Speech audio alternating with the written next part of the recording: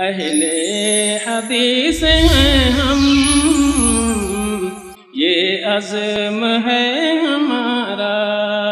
عقید توحید۔ نبی کریم صلی اللہ علیہ وسلم نے فرمایا، تم ایسے لوگوں کے پاس جا رہے ہو جو اہل کتاب ہیں۔ اچھا کیوں کہا ایسے ایسے لوگوں کے پاس جا رہے ہو جو اہل کتاب ہیں۔ اس سے یہ سبق ملتا ہے کہ جیسے ان پڑھ لوگوں سے بات کرنے کا انداز ہوگا وہی انداز پڑھے لکھوں کے ساتھ نہیں ہوگا۔ سبق ملا کہ نہیں ملا بھائی؟ سبق ملا۔ اہل کتاب ہے وہ۔ یعنی اللہ تبارک و تعالیٰ کی طرف سے ان کے پاس نبی آیا تھا۔ وہ جس امت کے نبی ہیں، جس نبی کی امتی ہیں، اس امت کے اوپر، اس نبی کے اوپر اللہ نے تورات نازل فرمائی تھی، انجیل نازل فرمائی تھی۔ یہ تورات و انجیل اللہ کی کتابیں ہیں۔ موسا اور عیسیٰ علیہ مسلط والسلام اللہ کے پیغمبران ہیں، نبی اور رسول ہیں۔ ان لوگوں کے یہ امتی ہیں۔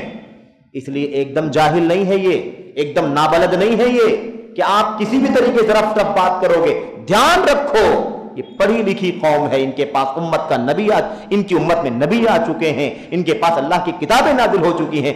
تم ایسے لوگوں سے جا رہے ہو، ملاقات کرو گے۔ اس لیے پہلے ہی سے تیاری کر لو۔ ان کے ڈاؤٹس کیا ہوں گے؟ ان کے شبہات کیا ہوں گے؟ انہیں کیا پہنچانا ہے؟ انہیں کس بات سے ڈرانا ہے؟ یہ سب پوری تیاری ہونی چاہیے۔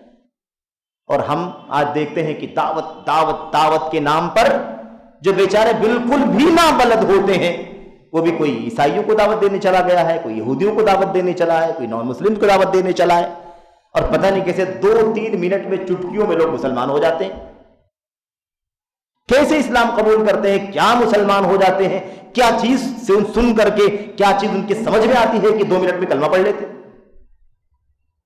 یہ سب سمجھ سے باہر ہے میرے بھائیوں۔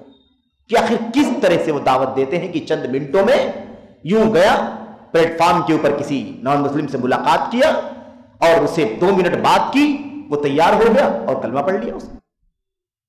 یہ سمجھ سے باہر ہے ہمارے کہ کس طرح سے اسلام لاتے ہیں۔ اچھا اگر اتنے لوگ مسلمان ہو رہے ہیں تو سب جا کہاں رہے کہاں جا رہے ہیں؟